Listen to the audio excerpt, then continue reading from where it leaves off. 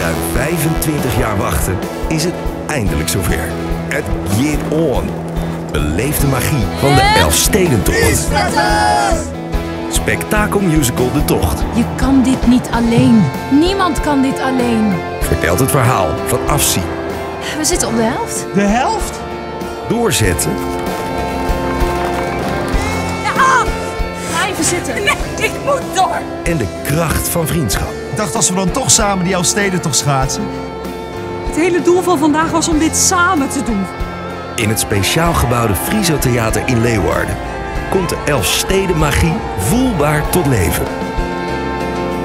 De Tocht der Tochten is nog nooit zo dichtbij geweest. Boek snel op musicaldetocht.frl